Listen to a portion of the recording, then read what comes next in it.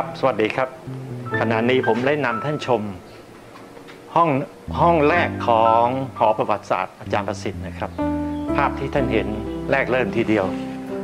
ทางนี้ก็เป็นเรื่องราวของเด็กชายวินัย จนกลายมาเป็นประสิทธิ์ธนพัฒนากุล มีความเป็นมาอย่างไร ก็เขียนพอสมควรทั้งหมดไม่ต้องการจะให้ท่านเน้นหรือให้เห็นความสำคัญ ผมทำเป็นองค์ประกอบในการ เล่าเรื่องความเป็นมาของบรรพบุรุษของผม และชาวจีนที่อบพยพมาจากประเทศจีน ยุคข้าวยากหมากแพง มีภัยธรรมชาติและปัญหาทางการเมืองเขาเช่นภาพที่เห็นสองท่านที่นั่งนี่เนี่ยเป็นคุณตาผม ยังไว้ผมเปียในราชวงศ์ชิงนะครับ ปลายราชวงศ์ชิง ทุกคนยังไว้ผมเปียตามคำสั่งของมองโกล พร้อมกันที่ท่านมาแล้วเนี่ยท่านก็ได้นำจารีตประเพณี วิถีชีวิตการกินอยู่ที่ท่านอยู่ในประเทศจีนสมัยนั้น คนจีนเป็นชาติที่มีวัฒนธรรม มีประเพณี มี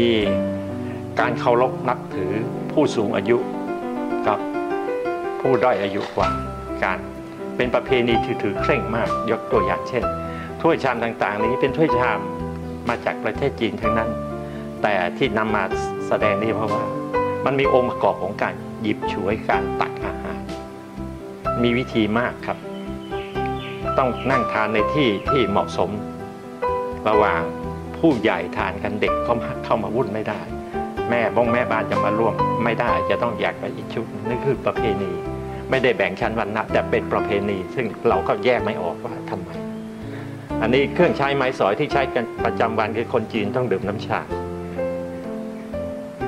เป็นหลักเลยครับทำไมต้องดื่มน้ำชาเพราะน้ำชา มันเป็นสมุนไพรประเภทหนึ่งที่ล้างไขมันเพราะคนจีนชอบทานอาหารมัน ก็ท่านก็จะเห็นมีถ้วย ตอนข้ามก็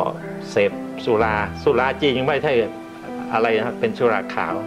ก็มีพวกนี้ยแล้วก็จิบกันพอให้ย่อยอาหารก็ไม่ได้เมาไม้จนไม่เป็นผู้เป็นคน ส่วนถ้ำไอ้ทองเหลืองข้างในนะก็เรียกถ้ำใบชา การเก็บใบชาถ้าเก็บในลักษณะนี้ขึ้นหนึ่งป้องกันความชื้น ไม่ไม่ให้เกิดเชื้อราง่าย ใบชาถ้าถูกแสงมากเกินไปมันก็จะสีใบชาก็จะเปลี่ยนเคล็ดลับง่ายๆท่านรู้วิธีถนอมของเอาไว้ใช้นะครับ ที่เห็นอีกสามท่านนี้ก็เป็นบรรพบุรุษผมคนกลางคือคุณปู่ครับ ชื่อนายเม้งแซ่ลิมต่อมารับราชการในพระคลังหลวงที่จันทบุรี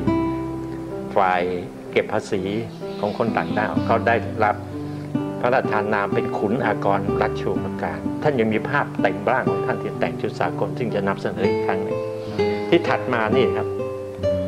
เป็นการให้เห็นถึงความละเอียดการบันทึกประวัติศาสตร์ของชาวจีนเขายึดถือมากนะครับบรรพศาสตร์ตระกูลมันจะ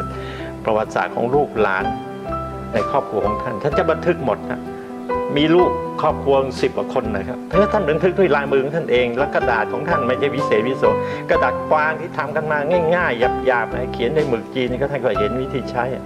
มีแท่งหมึกก็ทำจากข้าวเหมาไฟวิธีการก็ก็ว่ากันอีกเรื่องหนึงนะฮะเขามีขายเขียนผลแล้วก็ใช้ผู้กันซึ่งภาษาจีนเรียกว่าปิกก็เขียน เสร็จแล้วก็มีตราประจำตัวของท่านนี่คือตราประทับท่านเห็นพระอักษรจีนสองตัวคือ ลิมคือแซ่นะฮะ เมงคือชื่อท่านลิมเมงก็คือในเมงเนี่ยแซ่ลิมนี่คือเครื่องหมายตอนที่ท่านประทับต่างๆนะครับ นี่คือประเพณีจีน สีแดงเป็นสีแห่งโชคชัย ก็มักจะเห็นพวกนี้ติดนั่นคือชัยแปลว่าความเจริญรุ่งเรืองนะฮะคนจีนถือมังกร มังกรคือผู้มีอำนาจ มังกรผู้มีศักดิ์ศรี ท่านเป็นอยู่ในตระกูลค่อนข้างจะมีชื่อเสียง ก็ท่านก็นับถือเรื่องมังกรมากอะ ท่านถือว่าท่านเป็นคนจีนเป็นสายเลือดของมังกร